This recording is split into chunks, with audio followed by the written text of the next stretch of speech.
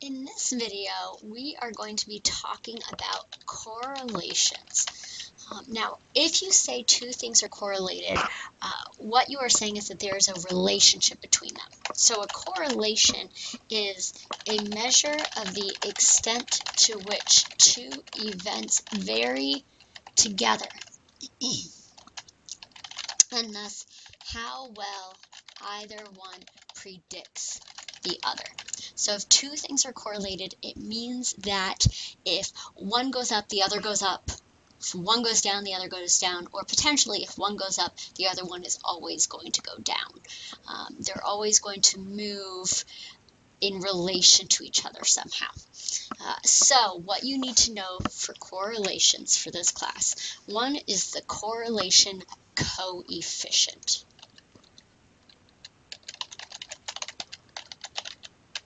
And what a correlation coefficient is, um, is a mathematical expression of the relationship. It is going to be a lowercase r, always lowercase, never uppercase, and it is going to be some number between negative 1 and 1. It is impossible to have a correlation coefficient that is less than negative 1, and it is impossible to have one that is higher than 1. It is going to be some number in between those. Uh, and what the number is tells you the strength and direction of the relationship of the correlation. If you have a correlation coefficient of 0, that means there's no relationship. Nothing is going on if it's zero. Uh, so you want something besides zero. And again, this is going to tell you strength and direction. So what tells you the strength of the correlation is the number. Not, um, well, actually the absolute value of the number. Uh, so ignore negative or positive. It doesn't matter if it's below zero or above zero when it comes to strength. It just matters what the absolute value of the number is. So a correlation of negative 0.9 is equally as strong as 0.9 because in absolute value terms, negative 0.9 and 0.9 are the same. If it's the absolute value, it means there is no such thing as a negative. So negative 0.9, positive 0.9, same absolute value, same strength. The closer the number is to 1, so either negative 1 or positive 1, doesn't matter when it comes to strength, the closer it is to 1, the stronger it is. And what it means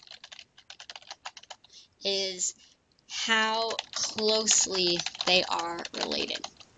Uh, another way to say it is how well you can predict one variable if you know the other variable. So if you have an absolute value of 1, so that would be a correlation coefficient of 1 or negative 1, then 100% of the time, if you tell me what one variable is, I could tell you what another variable is uh, that's going to be perfect. You're never going to really get that.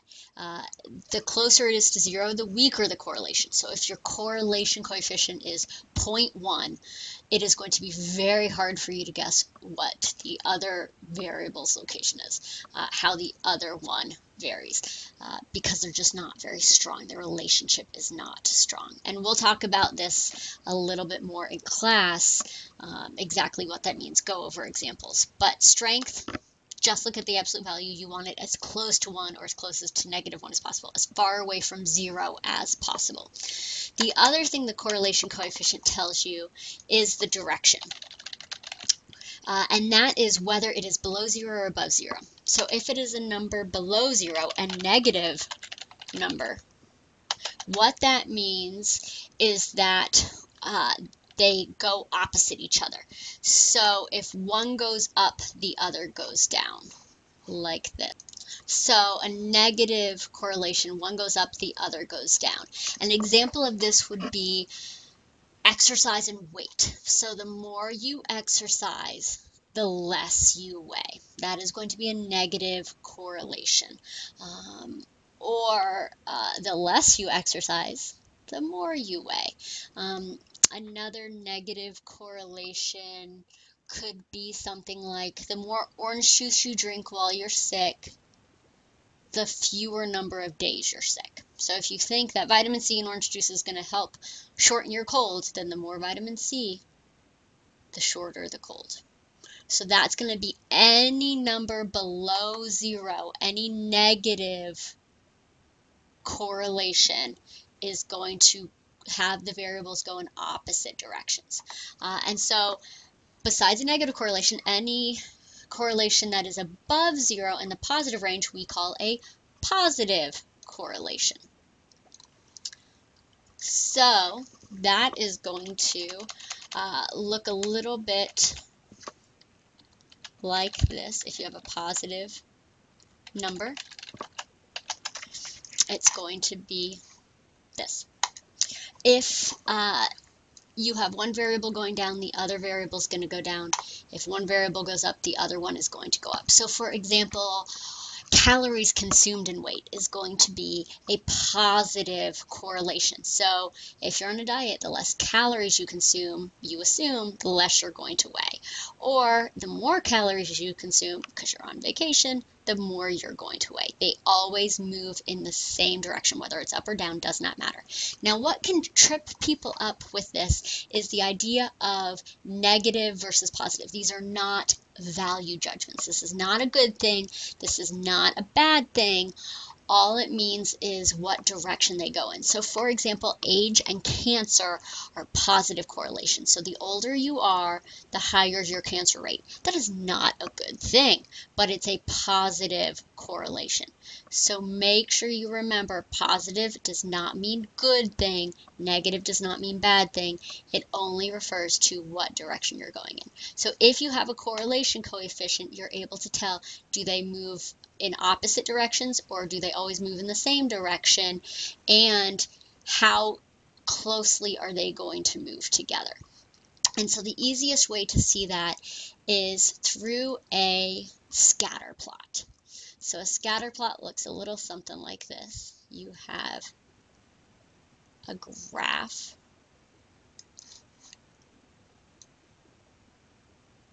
and you are going to plot points on your graph. So for this one, we will say this is, we'll just stick with what we've been talking about.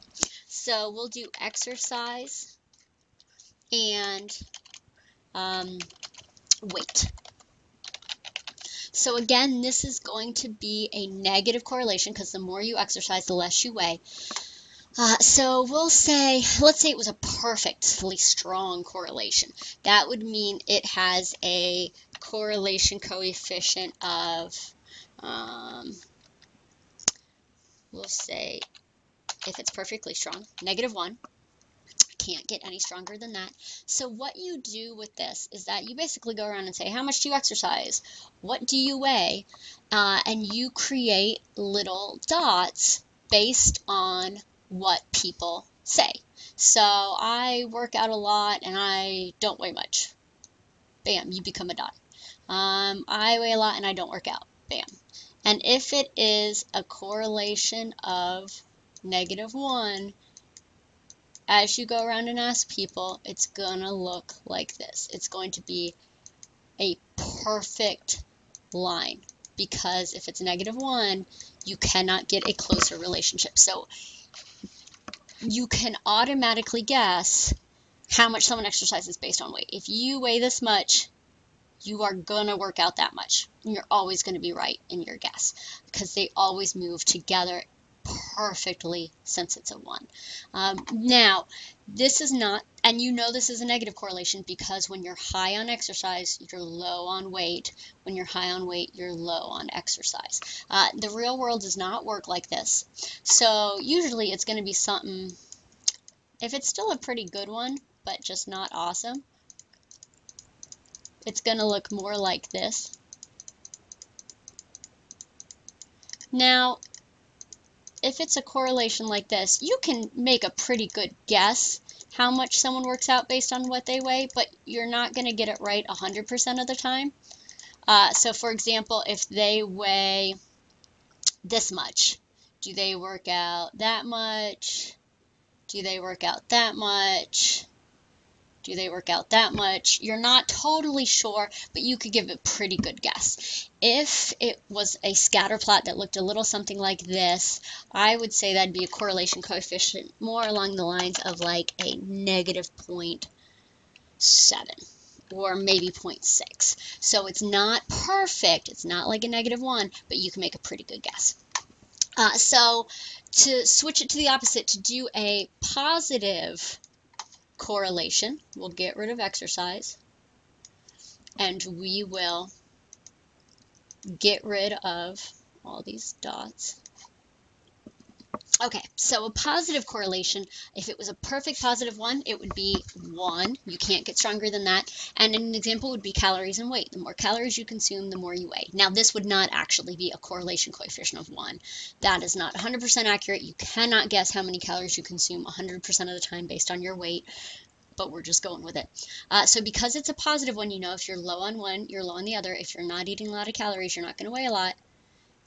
And because it is positive 0.1, it's going to look like this. 100% of the time, you could guess what one variable is based on the other. They're always going to move in the same direction. The more you weigh, or the more calories you consume, the more you weigh, you can always guess. Again, not going to be common. A more realistic one, if you were going to have, uh, do a different one. If it was a correlation coefficient of 0.2, that is not going to be a very strong correlation. It is going to be really hard to guess one variable based on the other. That is going to look a little something like this.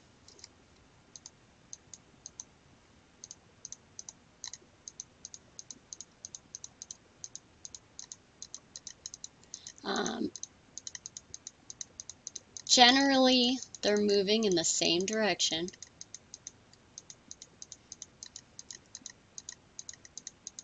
But uh, it's kind of hard to tell what's going on. So if you kind of squint, it you can kind of see how it goes in this positive direction.